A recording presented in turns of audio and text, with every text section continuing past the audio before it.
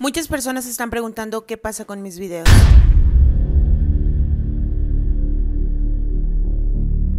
¿Por qué subo este tipo de videos y por qué me suceden estas cosas a mí? Entiendo que muchos no sepan lo que está pasando y parte de eso es porque me eliminaron mi otra cuenta con 2 millones de seguidores donde había muchísimos videos explicando esta situación. Así que creo que es momento de explicar absolutamente todo, desde cuándo empezó esto, cómo empezó, con quién empezó, en qué casa empezó. Muchas veces me han preguntado cómo es que no tengo miedo. Bueno, si ustedes conocieran lo que hay detrás de esta historia, realmente lo entenderían. Realmente lo entenderían, realmente lo entenderían. Hace un par de meses te compartí el inquietante caso de Fernanda Ni. Un caso en donde si bien recordamos, una pequeña, hija de Fernanda, aseguraba ser acechada por una extraña entidad a la que nombró como Matata. ¿Estás dibujando? Matata. ¿Cómo es el matata que ves? Aquí esto. A matar. No entendí muy bien lo que dijo en el video pasado, pero voy a aprovechar que por ella misma salió el tema del fantasma ahorita para que me lo dibuje en una hoja en limpio. Mi amor, dibújame el fantasma que ves, mami. Aquí. Hace unos días, Fernanda ha vuelto a través de una nueva cuenta en TikTok debido a que la anterior fue clausurada. Sus nuevas evidencias respecto a este caso son cada vez más aterradoras y es momento que seamos testigos de lo que hasta la fecha parece no descansar y aún continúa sucediendo en casa. Muy extraño esto. O sea, no sé, parecen rasguños.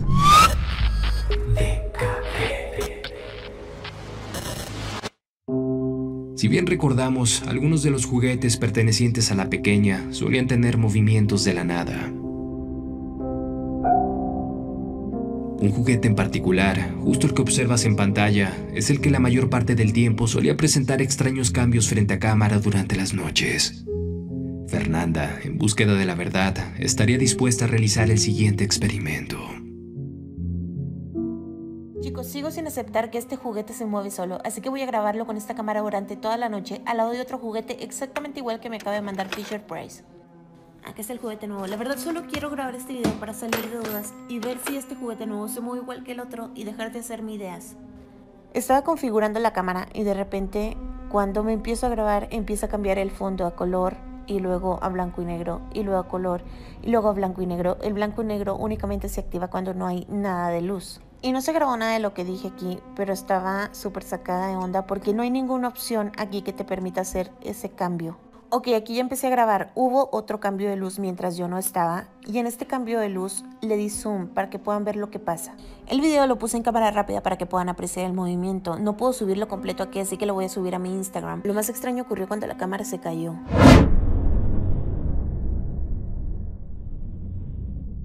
Efectivamente, como pudimos darnos cuenta, el extraño movimiento del juguete era única y exclusivamente el que se encontraba en casa de Fernanda. Es justo en el momento en que la cámara cae, que en la parte superior izquierda de la toma es evidente una extraña sombra cruzando de lado a lado.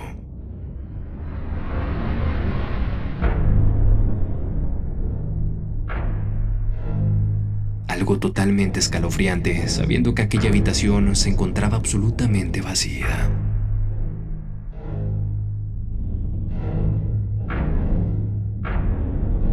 Pero si pensaras que este inesperado movimiento pudo haber sido provocado intencionalmente, o que quizá que el juguete nuevo no tuvo movimiento debido a que se encontraba al interior de su caja, te pido que prestes mucha atención a las observaciones de Fernanda.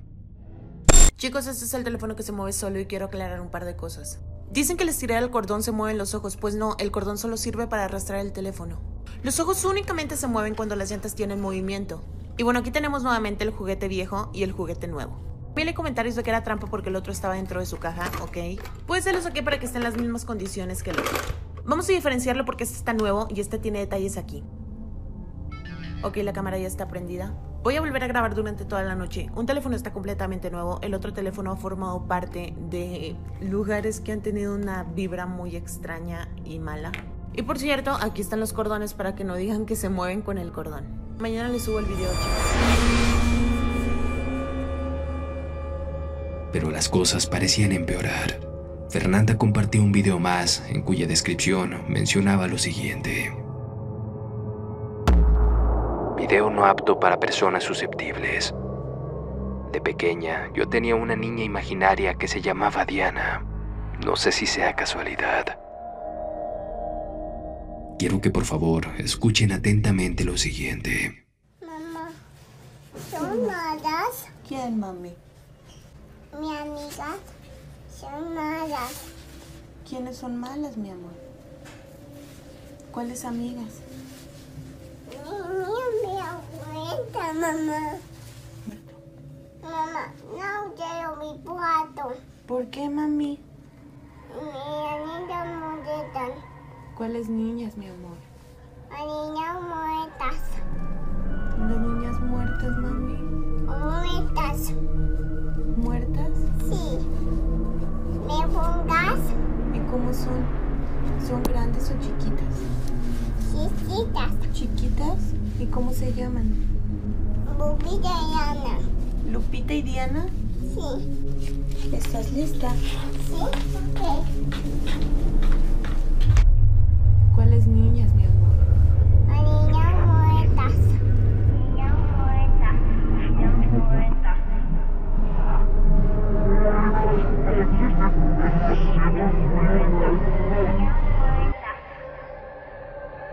Recientemente, Fernanda comparte el video que estás por ver bajo la siguiente descripción. Hoy no tengo palabras. La peor experiencia de mi vida. Apenas acababa de dormir Marina, acababa de cerrar sus ojos y este juguete, la sirenita, empezó a cantar solo otra vez. Lo que me parece extraño es que canta en portugués, si normalmente canta en español. Estoy sentada en la cama de Marina frente a este juguetero y quiero hacer algo que nunca he hecho. Diana, si eres tú, si existes, si estás aquí, quiero que nos des una señal. ¿Qué es lo que quieres? ¿Quieres una niña? ¿Quieres jugar?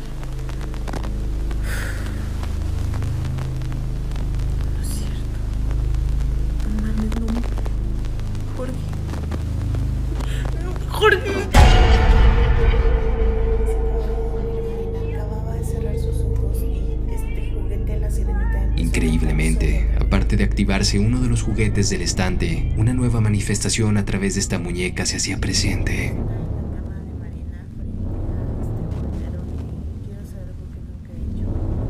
Lo curioso de esto es que aquel movimiento sucedió justo después de que Fernanda solicitara a aquella amiga imaginaria de nombre Diana a dar una señal.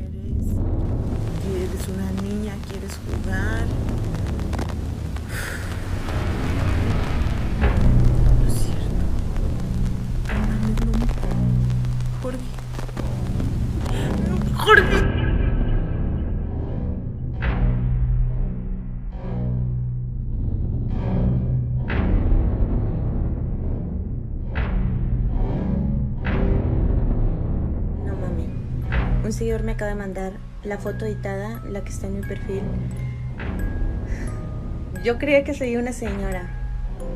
Se ve una señora con un niño en brazos gritando. Bueno, yo le agarré esa forma. Les voy a poner justo la foto que me mandó mi seguidor.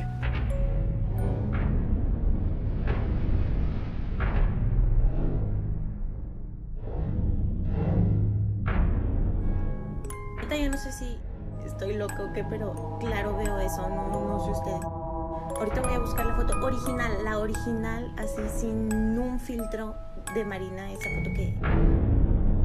Para intentar editarla como la editó ella, a ver si se ve más claro.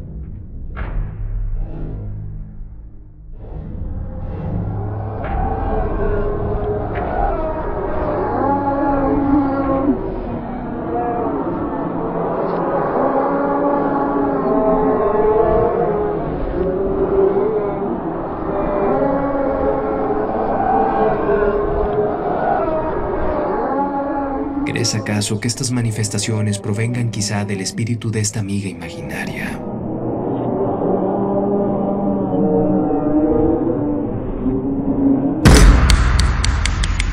Estaré al pendiente de las nuevas actualizaciones de Fernanda.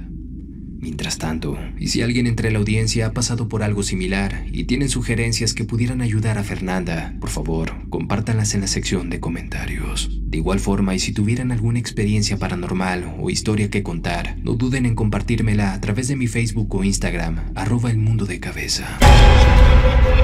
Estaré muy atento esperando sus historias.